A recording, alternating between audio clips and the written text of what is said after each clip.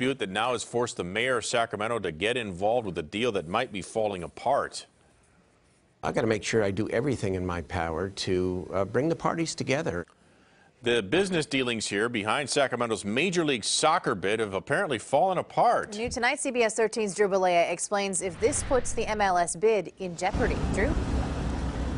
You know, it was believed that all parties were working together uh, towards a clean MLS bid. But when that bid was presented, the Republic FC name and logo wasn't there, and questions began to swirl. And now the fan base is left in the middle, wondering if their team will be the one that moves forward with the potential for an MLS expansion.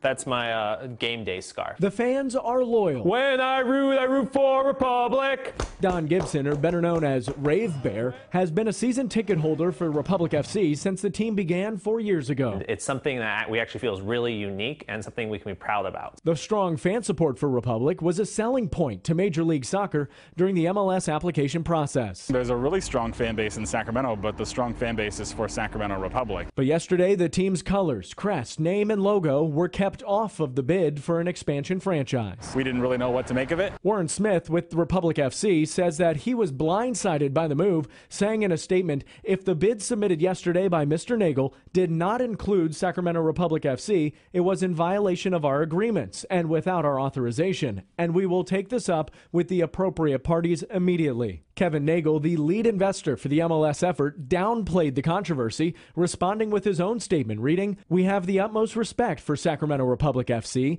and firmly believe that we further strengthen our case by presenting a united front with them. We have always been and are committed to finalizing a compelling partnership. What was thought to be a seamless effort to bring Major League Soccer to Sacramento included a power struggle and ownership dispute behind closed doors. Let's all take a breath. Let's let cooler heads prevail here.